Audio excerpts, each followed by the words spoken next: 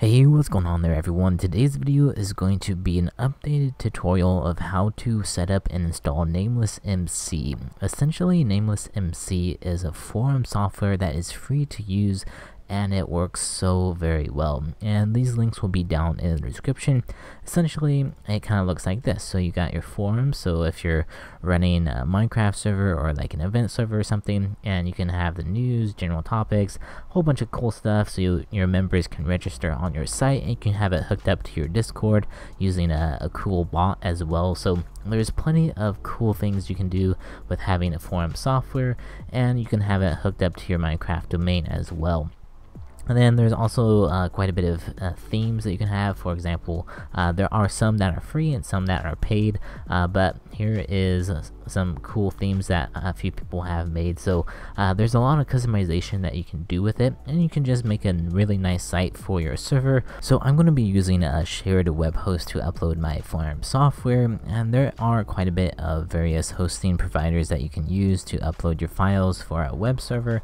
Uh, so I'm going to actually be using Revive Node, just to be choosing their silver plan. If you want to use Revive Node, you can use my code Striker to save 15% off your purchases, and uh, you can go ahead and just click order. And then of course you will need a domain of some sort uh, to use this. And I'm going to be using my free domain right here which is just adampvp.tk and whatever domain that you have you can just go ahead and add it just like so and then that would be your specific domain. And then of course you can go ahead and purchase it so once you have your domain and your web server purchased, I'm going to head and log in to the Revive Node web server and we'll go ahead and get this set up. So now we are on the web hosting uh, direct admin panel, basically the control panel for web hosting. So the very first thing that I'm going to be doing is setting up our DNS records. So I have my domain hooked up with Cloudflare. As you see, we have zero records right here. We need to go ahead and start adding records for our website to actually work.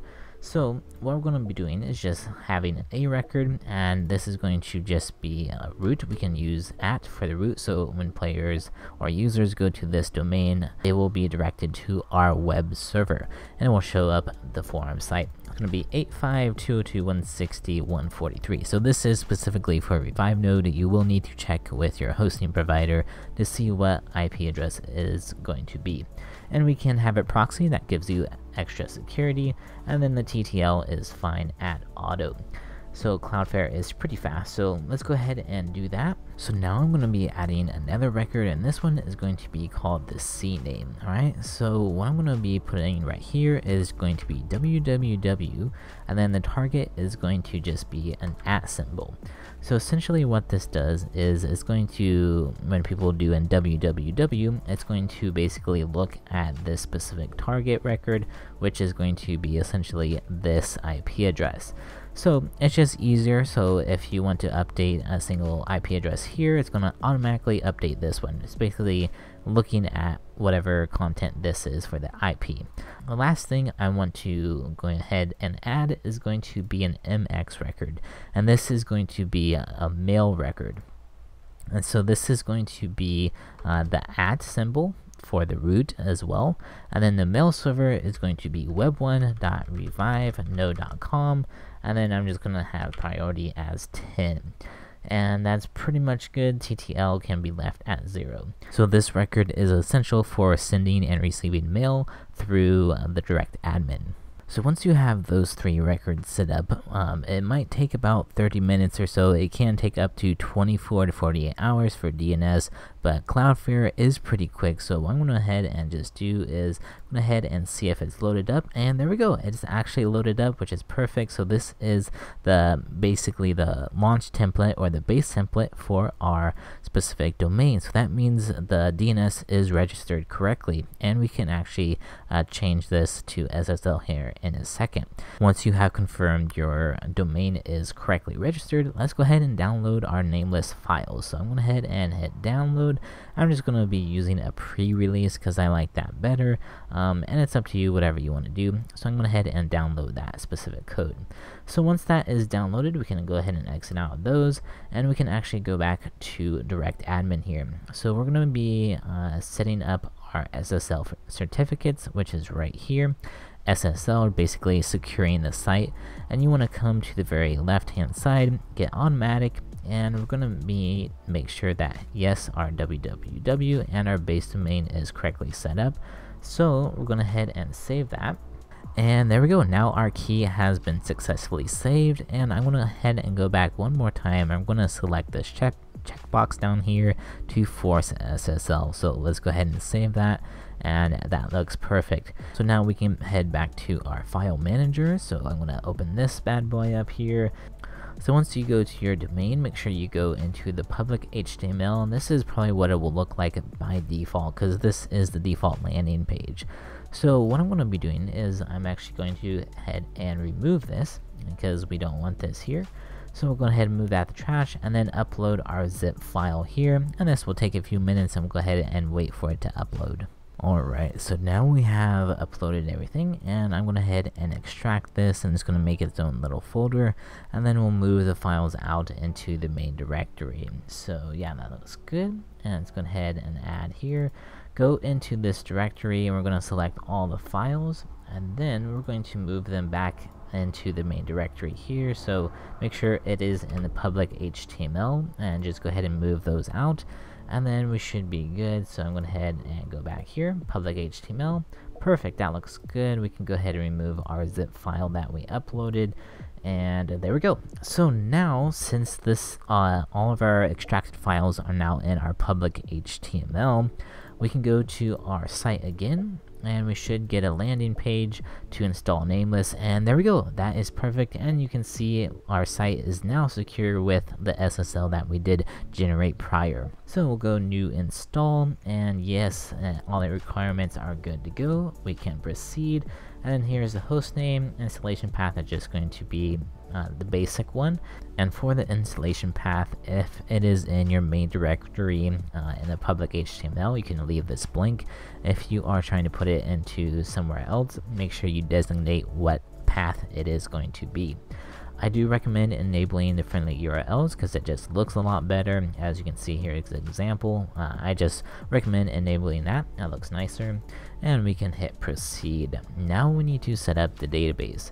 So coming back to our panel here, we can go to uh, the MySQL management and we can go ahead and make a new database here. So I'm just going to call this nameless and we can go ahead and click this to generate a password and we're going to head and just create password. So now we can actually copy this and we can go to our website and uh, this is basically the same the 127 address is basically the same as localhost if that doesn't work you can change it to localhost but by default should be good. But we need to change the username as well as the database name and that info is all right here as you can see. And then we just need our password and we can update that. There we go. So everything else should be good by default. Default we can hit proceed and now it's going to head and do that. So now we can actually make our site name. So this is going to be Adam PvP we can make a contact email and we let's go ahead and actually do that. So if we go back to our dashboard here nice little fancy email account tab let's go ahead and make our own. So I'm going to call this just admin. So we can call this admin at adampvp.tk. I'm just going to set the password to password01 so I can remember it.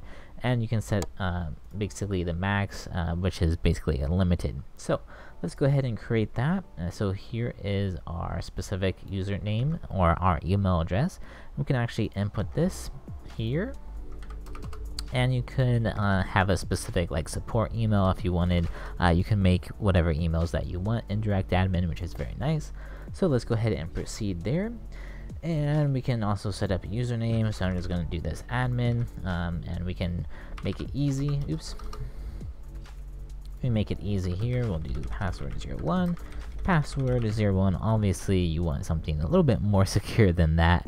Um, and no we do not want to convert and there we go, we're all completed. And now it should have us authenticate. So I'm gonna head and enter our specific uh, admin password that we just made. So password 01. And let's go ahead and submit that. And there we go. Now we have successfully installed Nameless MC.